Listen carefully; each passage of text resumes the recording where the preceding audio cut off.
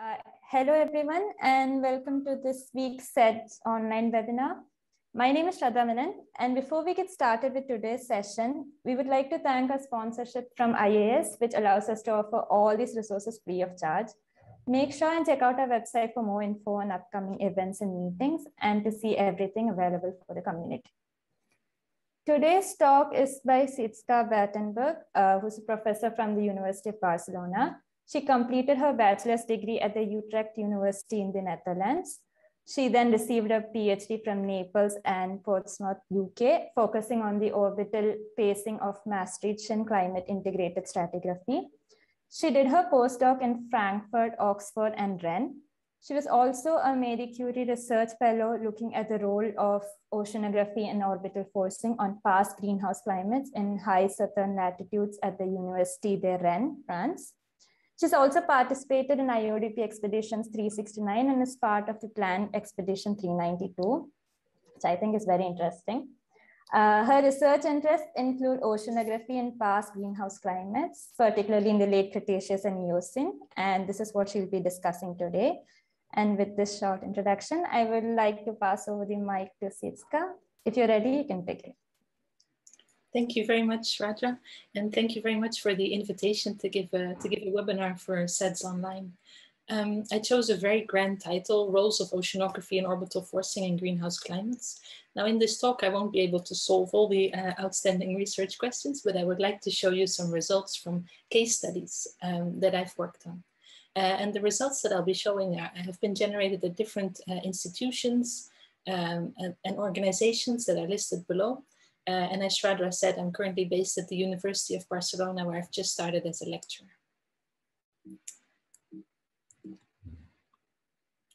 Um, so the outline of my seminar, I have to be honest, it's going to be uh, jumping back and forth a lot between uh, ocean circulation, orbital forcing, but I hope to touch on all of these topics. And what will unite uh, my talk, uh, hopefully, uh, is that it will be on specifically on greenhouse climates uh, and specifically on the greenhouse climates of the Eocene and the late Cretaceous. Uh, and the reason for that um, is in this figure. Uh, this is a figure of CO2 uh, uh, data, uh, a compilation based on the left-hand side on proxy data. Then time steps become smaller towards the right uh, and CO2 is measured directly in ice cores. Then we have historical measurements and finally predictions of what CO2 levels might be in the atmosphere in the future.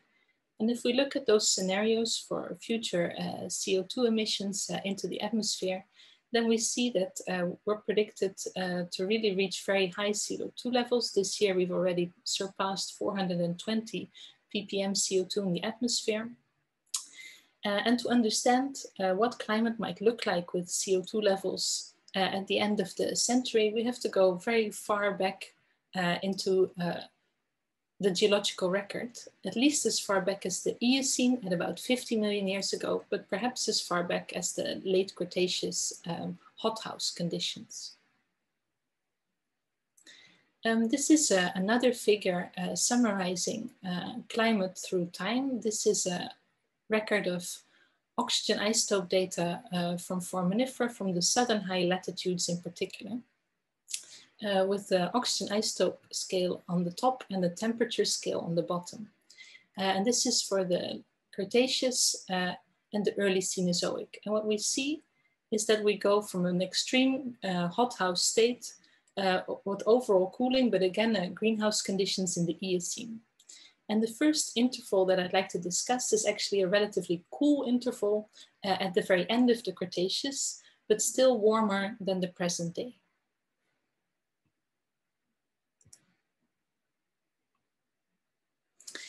Now, what did the world look like at the end of the Cretaceous?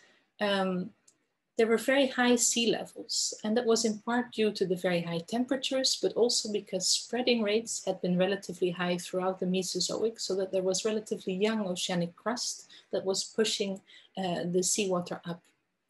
Um, the geography was very different with the Atlantic Ocean opening, uh, and a, a very uh, big difference in terms of oceanography was that there was an ocean connection uh, across uh, uh, longitudes. So we had the Tethys Ocean connected to the Proto-North Atlantic and connected to the Pacific Ocean with a circum-equatorial current. And this relatively shallow connection uh, is something that we didn't see anymore after the Cretaceous. When I started working uh, on the end of the Cretaceous, I started working on the Zumaia section in northern Spain. Uh, and the reason for that was we wanted to improve the geologic timescale. And the Zumaia section we thought would be a, a, good candidate section for this because when we look at the succession, we see an alternation of limestones and marls. And these alternations are very rhythmic. Uh, and if you look at the individual alternations, especially at the marls, you can see that sometimes they are much darker and more deeply weathered. And sometimes they are hardly distinguishable from the uh, surrounding limestones. And these types of patterns are what we call hierarchical stacking patterns. Here we can see, we think we can see the influence of different orbital periodicities that have uh, worked on our climate, on the amount of energy that we have received from the sun. So what you see on the picture is a field interpretation. We then collected very high resolution uh, samples and measured uh, color reflectance, magnetic susceptibility to then perform time series analysis to test our field interpretation and once we had a solid cyclostratigraphic framework, we had proof uh, together with independent age control that these periodicities were indeed linked to the orbital periodicities, we were able to use those periodicities to improve, to refine the geologic timescale. And these types of age models are now the backbone for paleoclimate studies.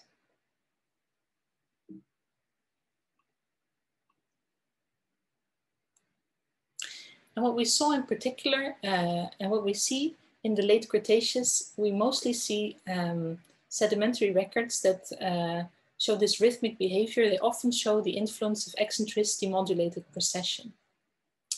And just as a quick reminder, sorry, precession is what determines our seasonal contrast.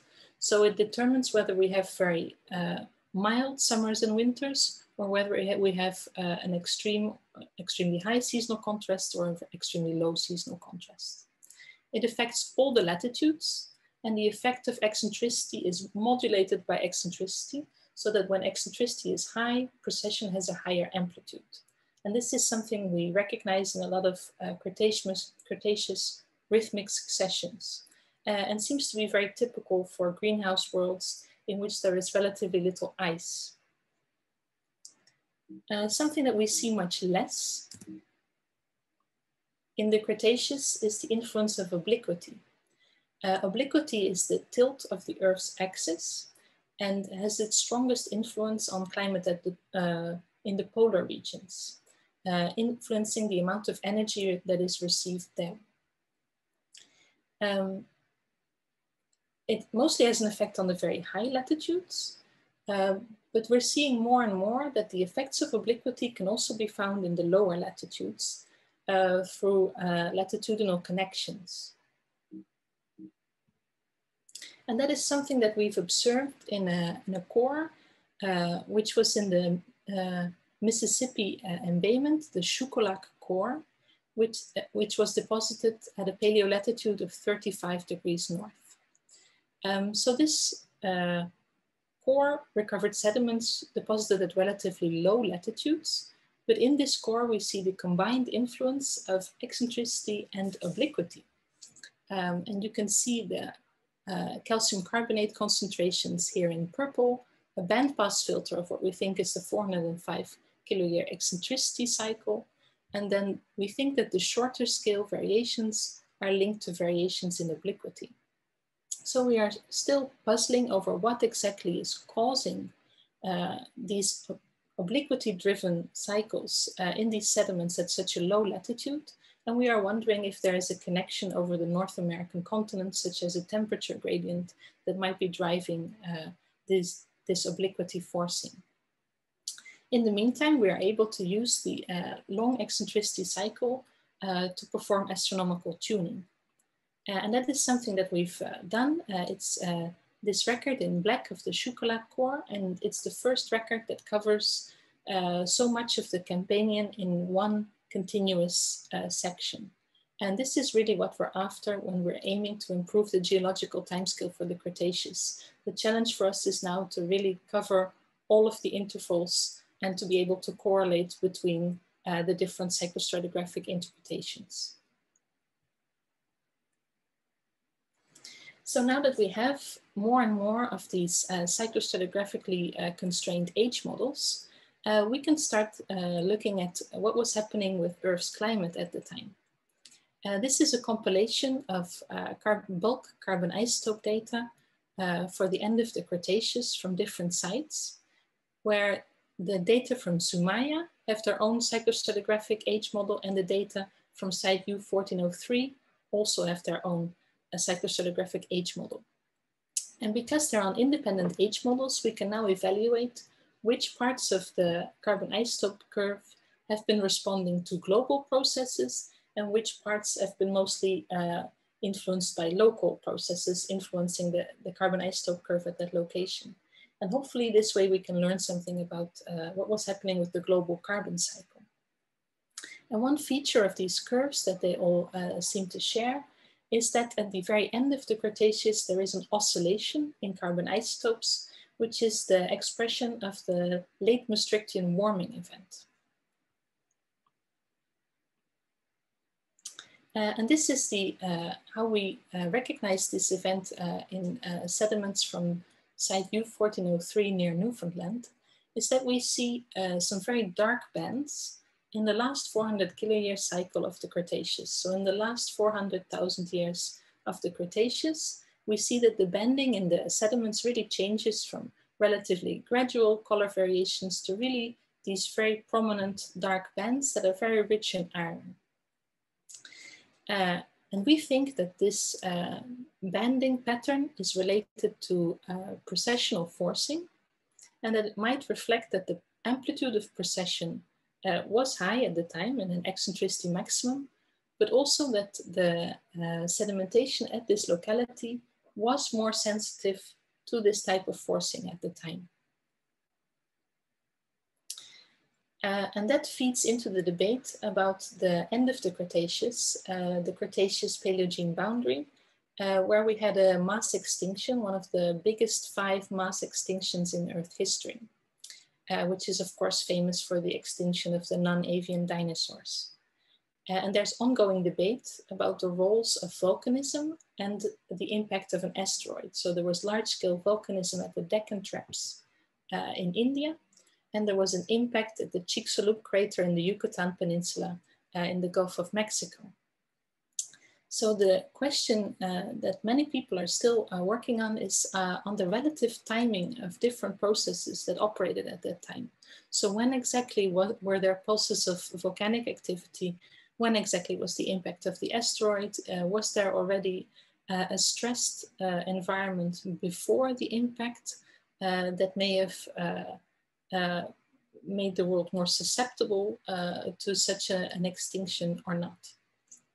Uh, and this is something that people are working on from different angles. Uh, people are working on improving the dating of the phases of volcanic activity uh, of the Deccan traps by uranium lead dating uh, in this left-hand figure and argon-argon dating in this recent study in this right-hand figure. Um, but they show very different um, ages, uh, although both techniques have, have uh, seen a major improvement uh, over recent years uh, and have reached a much higher precision. But so far, the uranium lead dating seems to suggest uh, a lot of uh, volcanic activity just before the KT boundary, with time getting younger towards the left. Uh, whereas the argon-argon dating suggests uh, that the volume of uh, lava extruded, so that's represented in these colored blocks, was actually higher after the Cretaceous Paleogene boundary. Uh, and this is also somewhat related to uh, where they place the Cretaceous Paleogene boundary in these sequences. So what we can add from a paleoclimate perspective is we can generate very high resolution data of what climate was like uh, at the end of the Cretaceous and in the uh, early Paleogene, and how it responded to uh, these different processes to the volcanic activity and to the impact of the asteroid. And this study is a very large compilation of uh, available uh, temperature data from proxy records, uh, from a range of proxy records.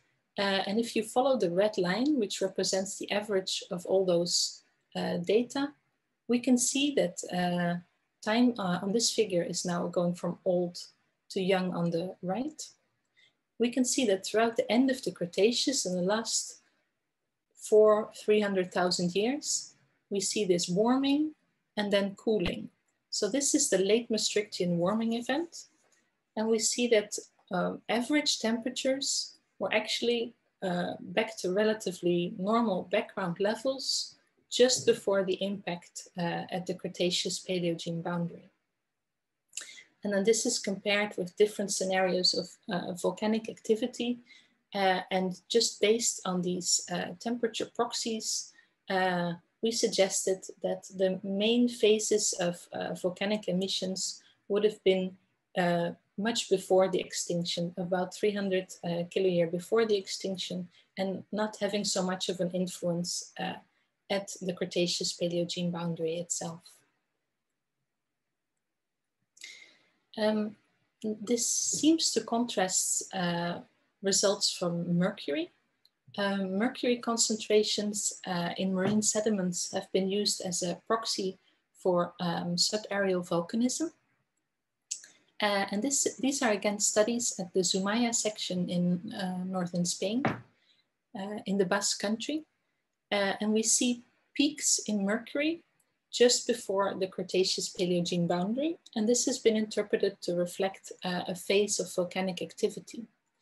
Uh, but then uh, I was involved in a, another study where we extended the record further down, and we found similar peaks uh, in mercury uh, further down with a cyclic uh, nature, suggesting that the mercury is perhaps not directly derived from the volcanism or well, perhaps there is more mercury in the system, but it only arrives at this setting uh, as a perhaps related to, to runoff, uh, to detrital inputs to the basin.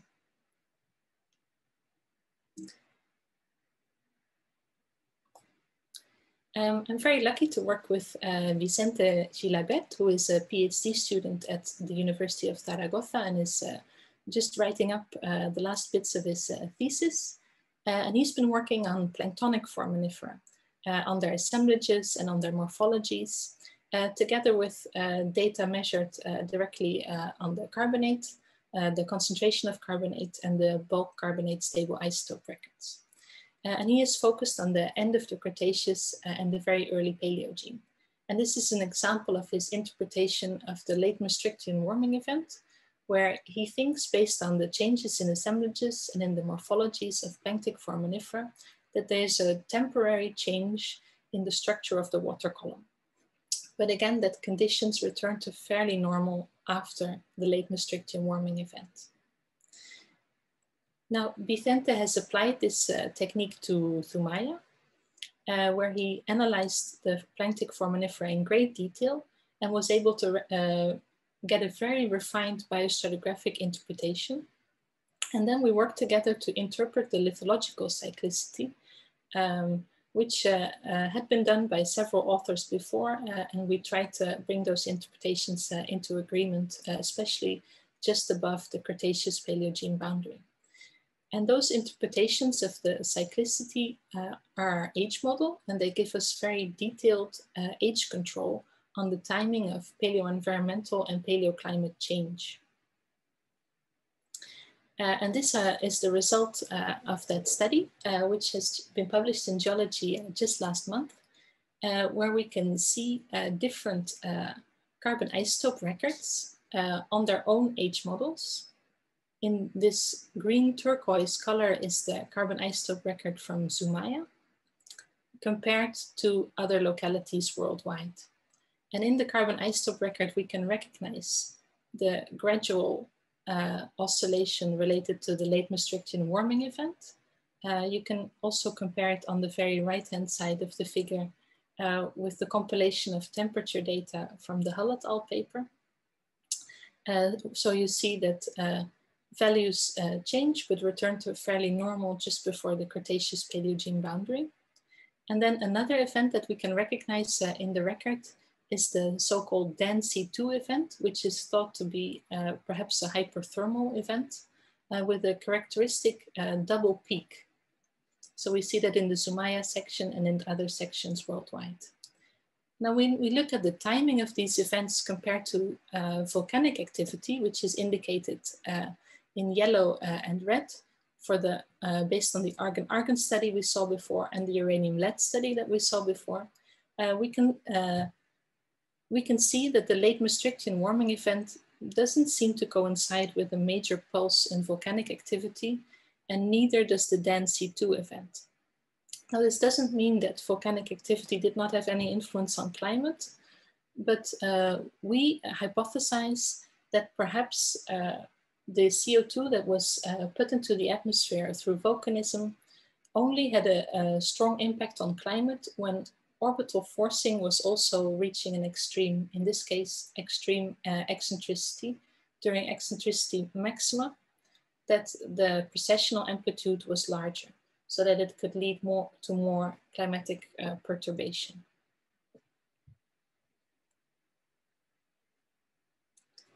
Um, so here we've linked the changes uh, in climate to mostly to the timing of them, mostly to orbital changes, although the background mechanism might be the output of CO2 through volcanism. So this is a very detailed look at the Cretaceous uh, Paleogene boundary. Um, and now I'd like to take a step back and look at a very uh, large time scale across the late Cretaceous and into the early Paleogene, into uh, what changed uh, in the configuration of the, of the continents and what that meant for changes in ocean circulation. So at the very end of the Cretaceous, the Atlantic Ocean is gradually opening and is still relatively narrow. There are um, barriers and sills at depth that might still block the flow of deep waters uh, and gateways uh, are opening. Um, so the way we study uh, ocean circulation in, these, in this time period uh, is mostly by the generation of neodymium isotope records. Uh, and the way that works is that uh, neodymium is delivered to the ocean from the continents, where old cratons typically have very negative values and young volcanic material has higher neodymium isotope ratios. Material gets delivered to the oceans, uh, dissolved in rivers, but also in dust particles. And this imprints the neodymium inventory of the surface waters. And these surface waters, if they increase in density and sink to depth to form deep water masses, they carry their neodymium isotope signature with them to depth. And as they are flowing over the sea floor, where they touch the sediment, this neodymium isotope ratio can be incorporated into different archives. And the archives we commonly use are phosphatic fish debris and also the ferromanganese oxide coatings that form around grains. So we uh, try to purify the neodymium uh, from those archives uh, we do that in a laboratory that is completely free of metals. So basically everything is made of Teflon and plastic. Uh, we do uh, column chemistry. Uh, and when we have mostly, when we almost only have neodymium left in our samples, we can measure the ratio between the different isotopes with multi-collector mass spectrometry. And this is what we did for the, uh, a range of sites at the end of the Cretaceous uh, and into the Paleogene. So we mostly had sites uh, in this, on this barrier system of the Rio Grande Rise Walvis Ridge that formed the barrier for the flow of deep waters for a very long time in the Cretaceous. Um, so you can see the red curve is from the top of Rio Grande Rise, whereas the yellow curve is from more or less the top of the Walvis Ridge. And this is compared to other data sets, uh, available data from Demerara Rise in the equatorial Atlantic, and also from a data set that we've generated, uh, again from site U1403 uh, off the coast of Newfoundland uh, in the North Atlantic. And what we see when we look at these data is that in the, at the end of the Cretaceous, there is a very large spread in data, uh, very different uh, neodymium isotope values. And gradually throughout the end of the Cretaceous and into the Cenozoic, these values start to follow similar trends uh, and start to lie more closely uh, together. And at about 59 million years ago, they fall within a relatively narrow range. So we see a convergence of these neodymium isotope values. Um, and we interpret that as maybe um, an intensification of deep water exchange. Maybe deep waters were gradually able to flow over this barrier system more and more. Uh, and they were able to fill uh, the basins of the Atlantic uh, um, flowing more quickly uh, and mixing uh, more readily. Uh, so that the Atlantic Ocean of the South and North Atlantic really become part of the global thermohaline circulation. And interestingly, this time of about 59 million years ago is a time when, when we look at uh, benthic foraminiferal isotope records, we see a long-term uh, change from a cooling trend, we see a shift to, to a warming trend. Uh, and this is when we head into the Eocene greenhouse. So perhaps this more efficient uh, circulation may have contributed to the background conditions uh, that led to the world to get into another greenhouse state uh, in the Eocene.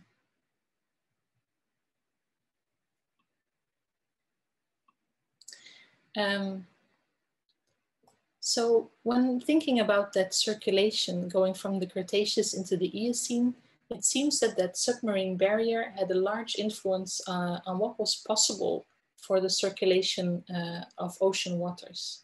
So in that case, um, ocean circulation may have been controlled by the paleogeography. Uh, but we also think that parts of ocean circulation are controlled by climate, that climate and especially temperature might control where deep water masses are able to form. Um, so how do we disentangle climatic and geographic controls uh, on deep ocean circulation? And this is something that um, I've started working on uh, in France and that I'd like to uh, continue to work on and I'm uh, working on the comparison of, of two very different scenarios. One is in the Middle Cretaceous, uh, and I'll have more slides on that after. But the, what I will discuss first is the opening of Eocene gateways. So in, in that scenario, we are mostly looking at uh, changes in uh, paleogeography. Whereas for the Cretaceous scenario, we'll be looking at an abrupt climatic perturbation. So in the Eocene, uh, the world experienced the opening of gateways. Uh, the continents uh, around Antarctica separated, so Australia uh, separated from Antarctica and also South America, with the opening of the Tasman Gateway and the Drake Passage. Uh, the numbers that I've written here are, are a very wide range of numbers. Uh, for both these passages, the first indications of a shallow opening are at about 50 million years ago. Uh, and the latter number, the second number, is when we see evidence for a deep uh, connection through these gateways. So when exactly we consider these gateways to be open, uh, it is very uh, poorly constrained. And this is uh, on the left-hand side, this is a modeling study uh, modeling the effect of opening the Drake Passage uh, and we see that uh, opening the Drake Passage between South America and Antarctica actually influences very large scale ocean circulation patterns, uh, also for waters flowing perhaps south of Australia in a proto-Antarctic circumpolar current. Uh, I was very lucky to participate in uh, IODP ex Expedition 369, uh, southwest of Australia, where we recovered sediments that should lie under the flow path of this proto-Antarctic circumpolar current. Um, and this is what those uh, sediments look like. So uh, I was very excited when these sediments uh, came on board uh, because they're very, very beautifully cyclic. Um, but in a poor photograph like this, I think you can hardly see that. So if we uh, attach all those sections and compress the photograph, I hope you can see that there are very nice banding patterns. And if we then increase the contrast, perhaps these banding patterns become easier to see. Uh, and we might start uh, to think about a potential interpretation in terms of orbital forcing. Uh, now, this is, of course, something uh, that we have to uh, test, that we have to uh, analyze by generating a lot of data. And we've performed XRF core scanning, giving us, giving us lots of records of elemental concentrations in these sediments. And in this manuscript led by Max Wahlenkamp, uh, we were able to show that uh, the sedimentation uh, at this site was very strongly controlled by orbital forcing, in particular by the combined influence of eccentricity and obliquity. Uh, so here you can see the eccentricity and obliquity plotted together with the calcium iron ratio obtained through XRF core scanning, and they show very similar patterns. And this uh, uh, analysis proved particularly useful because we were able uh, to, uh, to get a cyclostratigraphic framework for the Middle Eocene.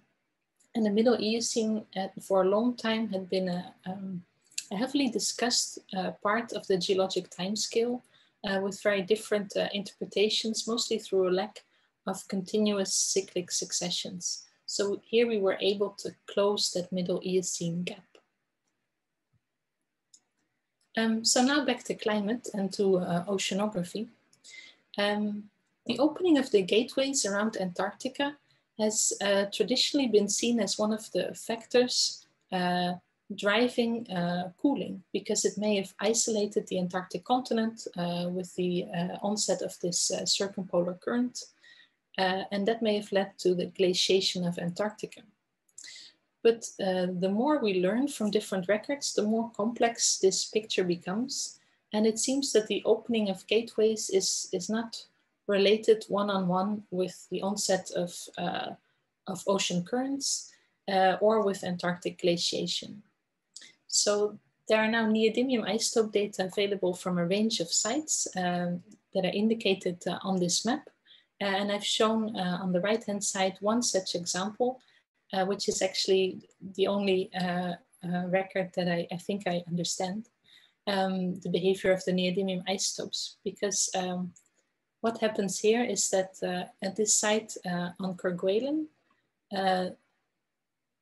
when glaciation starts on Antarctica, neodymium isotopes shift to more negative values, which can be a consequence of erosion and weathering inputs.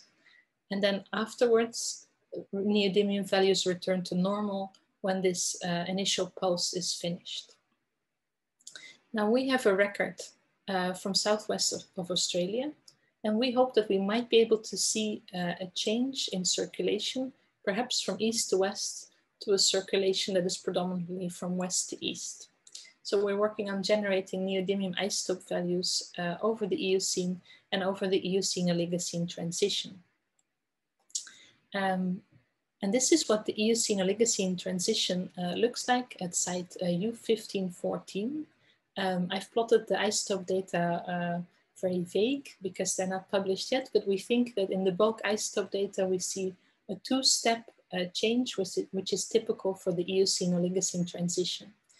Uh, and what we have uh, as well is a very detailed biostratigraphy and a very good magnetostratigraphy for this site and also uh, preliminary analysis of the banding patterns suggests that there might be uh, an imprint of orbital forcing.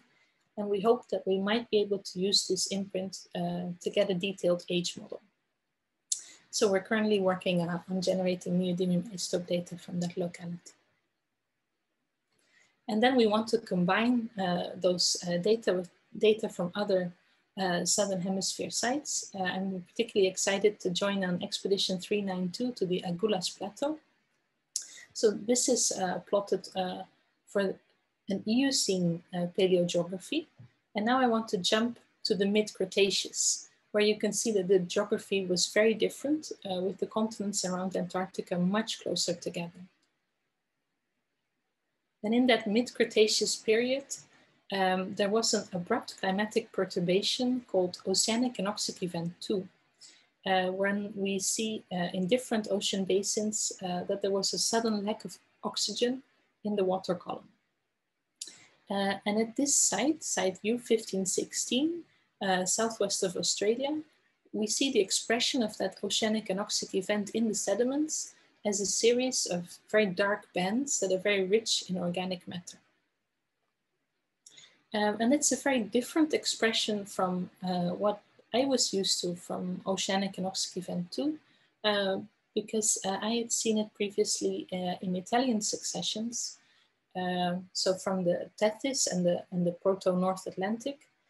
And in particular here at Furlo, we see a change from uh, carbonate sedimentation to the sudden deposition of a very thick black shale interval uh, of more than a meter and then again uh, carbonate sedimentation. Um, and we used uh, the sedimentation patterns at this site at Furlo to investigate the potential imprint of uh, orbital forcing uh, because we saw uh, banding patterns with uh, lots of layers of cherts. And we were we collected high resolution data, performed time series analysis, and we think that the exact timing of the deposition of these uh, black shales is related to a very long periodicity um, in Earth's orbital parameters in the 2.4 million year cycle of eccentricity. And during such a, an eccentricity minimum, such a long-term eccentricity minimum, seasonal extremes are avoided for a very long period of time. So seasonality is very stable. And we think that when seasonality was introduced again, uh, that that is when uh, we see the sudden deposition uh, of black shales. So in this case, we suspect that orbital uh, forcing may have uh, determined the exact timing uh, of this event, but we don't think it was necessarily the driving factor because at the same time, there is a lot of volcanism that may have provided the nutrients for increased productivity and that may have been the driver of this very large scale uh, anoxia uh, on longer time scales. Um, so we see evidence of volcanism, particularly uh, in isotope records. Uh, this is uh, the Proto-North Atlantic, uh, and in this shallow seaway over the North American continent, the Western Interior Seaway, these are data from chromium and osmium that suggest uh, a potential input uh, of chromium and osmium through volcanic activity, which might be related to large igneous provinces. Uh, I worked on a, uh, when I was in Oxford, I worked on a core from Iona, from uh, Texas, with sediments deposited uh, in the Western Interior Seaway and generated neodymium isotope records. And this is a compilation of uh, neodymium isotope results uh, during the end of the Cenomanian uh, into the Turonian, so uh, during oceanic anoxic event two.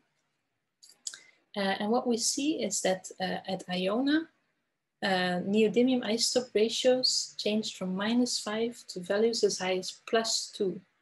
and that's really an outlier compared to other data sets if we look at most of the proto-North Atlantic data that are available, values are relatively uh, negative of about minus seven.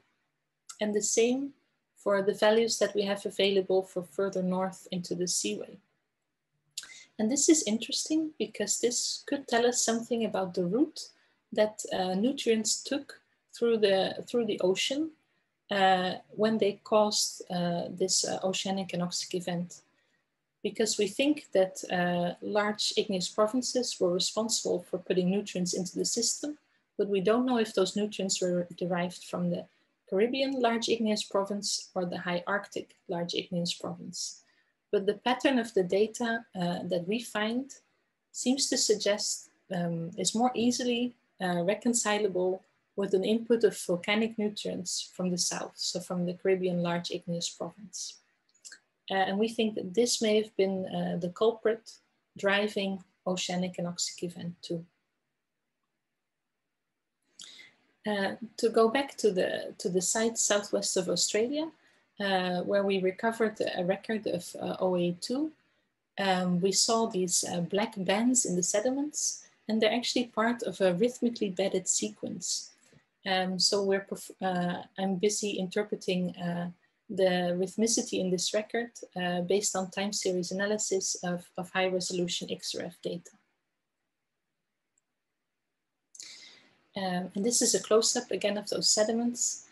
Um, and what's really interesting to me is that um, the anoxic conditions seem to come and go because uh, those bands are separated uh, by oxygenated sediments.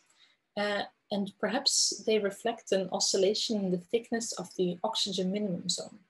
Um, site U1516 was relatively deep, and perhaps the oxygen minimum zone at times expanded to also cover site U1516.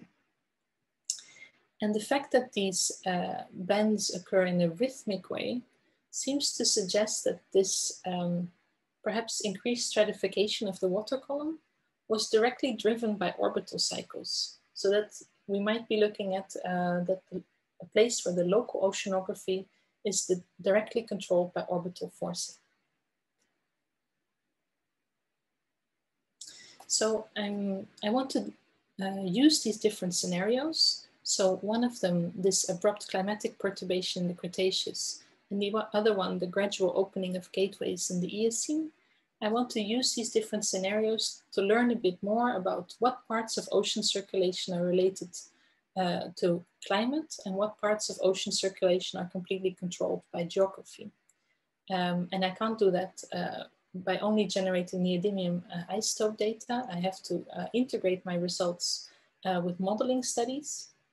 And I also want to more and more use other archives, the, the archives of neodymium, to really understand where the material is coming from and potentially where the areas of deep water formation are in the world's oceans.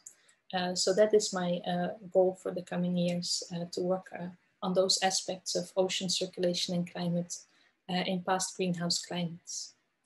Uh, and finally, I want to use this opportunity in case you're not sick of orbital forcing yet and you want to know more about it. Um, please uh, consider subscribing to the cyclostratigraphy newsletter. This is a newsletter that appears once every three months, and we've just started it this year, uh, and it uh, will keep you up to date, hopefully, uh, on all things uh, related to cyclostratigraphy. Uh, and also new this year is that we have started a journal dedicated to cyclostratigraphy and rhythmic climate change, and we now invite contributions. Um, and the newsletter is hosted on a new website uh, with educational resources.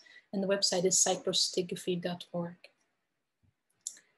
Thank you very much for your attention and I'd be very happy to, uh, to discuss uh, further.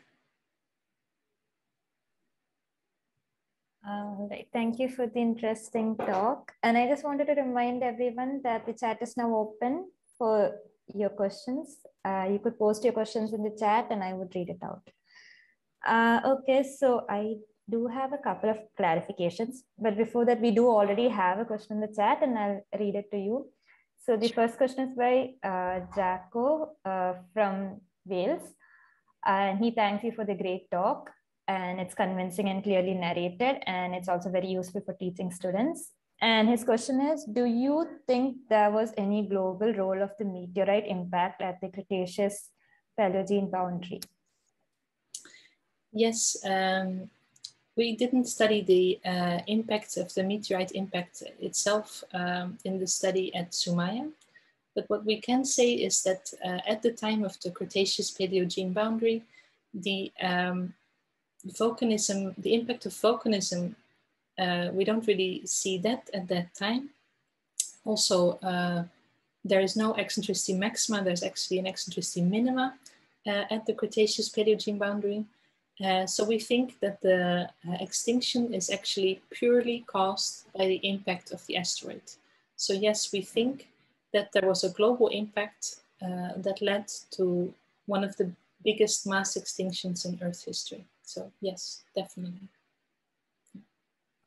Uh, okay, so we have the next question from Mohammed Hashim from Western Michigan, USA. He again thanks you for the great talk. And the question is regarding the mercury data, do you think mercury isotopes can be helpful to understand the source of mercury in terms of volcanic, terrestrial, wildfires, etc.? Yeah, uh, I think more and more people are looking into uh, not just mercury concentrations, but also into mercury isotopes. Um, myself, uh, I really don't know uh, enough about it to comment, but I, I do think it's mm -hmm. very promising uh, and that, that, this could be uh, the next step in understanding what is driving the mercury variations that we see in the sediments. Um, yeah. What I also find really interesting is the combination of mercury with other systems for example, uh, osmium isotope data. Uh, and that's because they have a very different uh, way of uh, spreading through the Earth system. So uh, when we see uh, changes in, in osmium isotopes in the oceans, osmium has a very long residence time. And it really responds to things um, such as these large igneous provinces. When they put osmium with a different signature into the system, we can see that change worldwide. Uh, so the combined application uh, of osmium and mercury can perhaps help us to uh, understand also styles of volcanism uh, better. All right. Uh, okay. All right. So we have another question from Victoria. I'm not sure where she's from.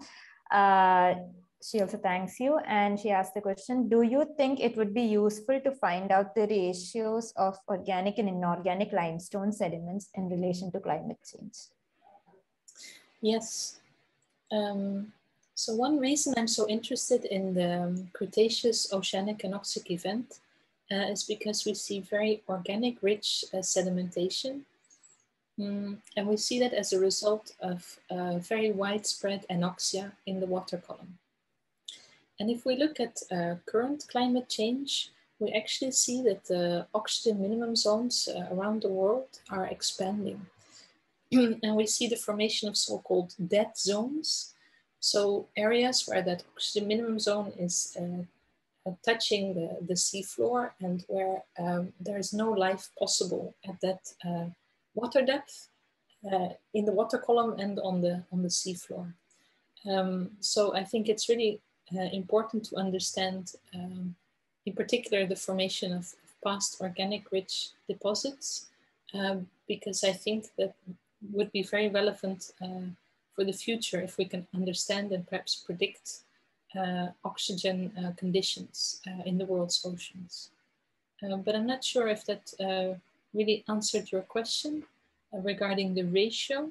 So if, if you have a follow-up question, please feel free to to write that in the chat. Uh, okay, so if there is any follow-up question, uh, you could just post it in the chat. Uh, but there's another question now. Uh, so that this is from Teresa from Vienna. And uh, she asks the question, uh, for the Batenburg 2012 paper, how do you exclude that the enrichment, just a second, Okay, uh, how do you exclude that the enrichment or depletion in material that contributes to magnetic susceptibility is not altered or an artifact of diagenetic uh, CaCO3 redistribution? Did you test diagenesis independent proxies, for example, titanium by aluminum ratio as well? Thank you, uh, Teresa. Um, yeah, we definitely uh, see that um, when we look at the limestones and marls at uh, Zumaia, that there is really, um, when you look at the bedding surfaces, that uh, the, the change is quite abrupt. You go from a marl to a limestone. So we think that that could definitely represent uh, the later uh, redistribution of, of calcium carbonate. Um, what we do see, however, is that we see quite uh, pronounced differences in thickness. Um, so we see that uh, the areas that have the the limestone marl alternations that have the more clay-rich marls also are much thicker. And that leads us to suggest that these alternations, that the primary driver of those was the input of clay uh, into the basin, the deposition of uh, detrital clay um, based on those thickness variations. Uh, and there were probably also variations in productivity and then later redistribution of calcium carbonate. But we think that the primary driver is that uh, detrital dilution. Um, later, we also analyzed for specific intervals. We uh, we did uh, analyze XRF. We used XRF to analyze the elemental uh, uh, concentrations. Um, but I have to confess that for most of the data, this hasn't been published yet, except for the uh, aluminium that is in the in the paper, the Percival paper. Uh, but but this uh, confirms our, our interpretation. Uh, I hope that answers your question. Yeah. Uh, so we do have the follow-up question from Victoria. She thanks you for the answer and then asks, do you think the organic limestone can provide insights into how carbon dioxide levels affect marine life productivity? Ah. Um, I have no idea if you could do something with just assessing the amount of limestone deposited. Um, it is very curious that in the Cretaceous uh, and in general uh, in the Mesozoic, also already in the Jurassic, we see such large scale deposition of uh, carbonate uh, by marine organisms that we, we don't really see uh, after the Cretaceous. Um, but I'm not sure we can use those quantities directly to say something uh, about CO2 and productivity. Um, but I do think we can use tools like um, uh, the foraminifera uh, and also organic geochemistry to say something about uh, CO2 and productivity. Um, but I'm not sure we can really use the amount of limestone itself because I don't think we're really certain what drives such large scale um, changes. Yeah, um, so we can definitely look at the, uh, I can see a follow-up question from Victoria. How, how about the fact that global warming slows down shell formation? Um, because of lower pH. Um, so I think more and more people are looking into the morphology of foraminifera and also of calcareous nanoplankton uh, and are linking this uh, to ocean acidification events. Uh, so I think people are, are looking into that.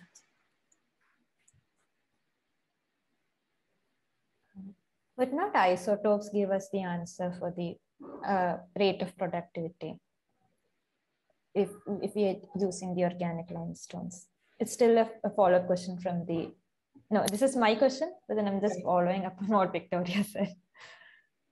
Can you repeat your question, Like, uh, can we not use uh, uh, carbon isotopes to um, constrain the productivity? Yeah, we can use the difference between uh, carbon isotope from uh, planktic species and uh, carbon isotope in benthic species to understand uh, about productivity. Um, but that, then we also uh, have to understand uh, the behavior of, of, water masses a bit because water masses can also age as they flow through the ocean.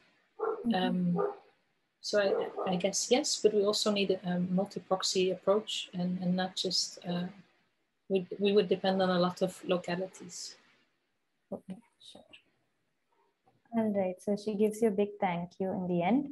And so I'll go into the next question. So we have a question from Romain. Uh, yeah, Romain from Switzerland. Uh, he compliments you for your presentation.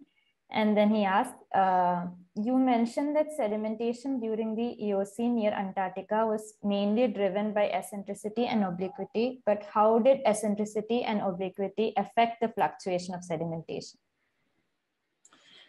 Yeah, thank you. That's a, uh, it's a very good question. What exactly is driving these sedimentary patterns? Um, and actually, I, uh, I also have that question for the Campanian site that we looked at, where we see a combined influence of eccentricity and obliquity. Um, when we see eccentricity and precession, uh, we can often interpret that as uh, changes in insolation driving changes in temperature, changes in runoff uh, directly. Um, so it's puzzling me that we don't see the influence of precession so much. Uh, both at this uh, Eocene site uh, and at the Campanian site, and that instead we see such a strong influence of obliquity. Um, for the Eocene site, it was at a relatively high latitude, Um, so it could be that uh, the site itself was quite sensitive to uh, insolation variations driven by obliquity and that uh, perhaps the, it was also picking up uh, longer scale variations uh, uh, in eccentricity. But what exactly the climatic mechanism is that um, from the forcing factor in changes in insolation to the sedimentation at the site, whether that is driving uh, variations in productivity, nutrient availability, runoff, uh, is something that uh, I think for this site we don't fully understand yet. Uh, all right. Uh, so we have the next question from Mariano from Fairfax, USA. And again, he thanks you for the great talk. Um, there is also a great discussion on the diagenetical origin of Marl limestone cyclic alterations instead of an orbitally induced signal. What do you think about that? Yeah, uh, thank you, Mariano. This is a question that I, I think is uh, touches upon what uh, Teresa asked before, that uh, diagenetic effects can have a strong influence uh, on, uh, on the resulting sedimentary sequences. And that some of the things we see may be more of an effect of the later redistribution, for example, of calcium carbonate than a primary signal. Uh, and that is something we always have to carefully evaluate. Um, uh, and I think that uh, uh Teresa has done some uh, great work on this. Um, I would say that in Zumaia, uh, we learn a lot from looking at the thickness variations um, that um, tell us that um, when we see marls that are more rich in clay, that they're also thicker. Uh, and this is uh, suggesting to us that this is driven by uh, runoff, bringing clay into the basin, so that, that there is likely a primary variability in carbonate and clay content uh, already present uh, before uh, such diagenetic processes. Um, and what we can also do is look at um, elements that are not directly affected uh, by such uh, diagenetic uh, alteration. But I, I, I, think you're absolutely right that this is something we have to we have to keep in mind. We always have to carefully evaluate uh, the origin uh, of, of cyclic alternations as much as we can.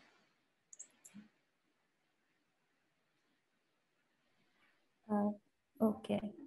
Um, all right, so we have one more question in the chat uh, by Patrick from Bavaria, Germany. Uh, great talk. Thank you very much. Uh, is it possible to distinguish the Chicxulub impact and the Deccan Trap eruption by the isotope data?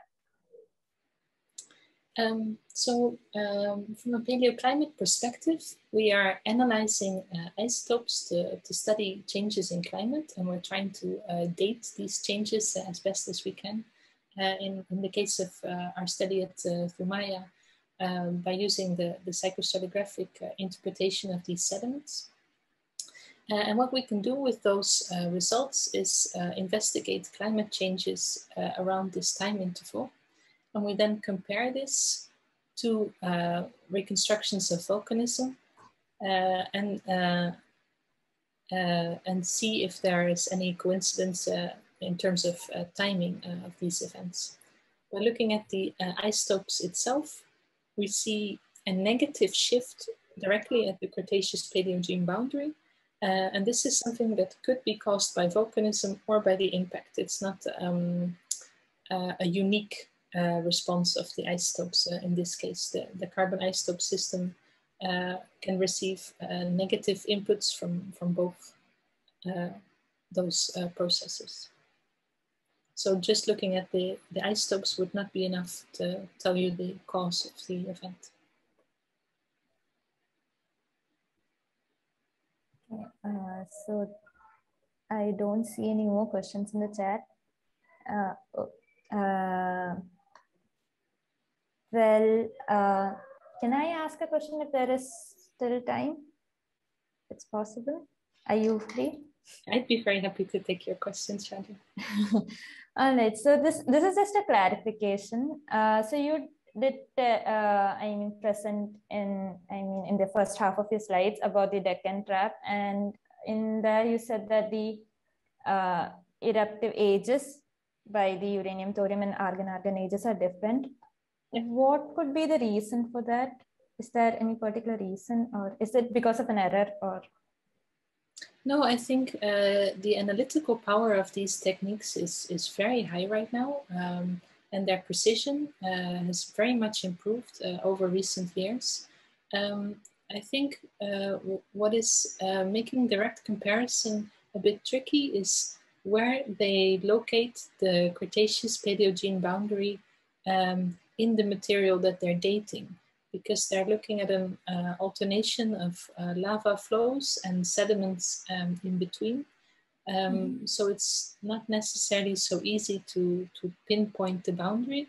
And I think that's where some of the differences might originate. All right, okay. Uh, well, if there are no more questions, I would like to thank you again for the fascinating talk. And uh, before we end, I would just like to remind everyone to join all of us next Wednesday for when we have the next talk by Alvise Finotello, who's going to discuss uh, the natural and anthropogenic modifications of the Venice Lagoon to unravel morpho-sedimentary evolution of tidal meanders. And see you then. Thank you for joining.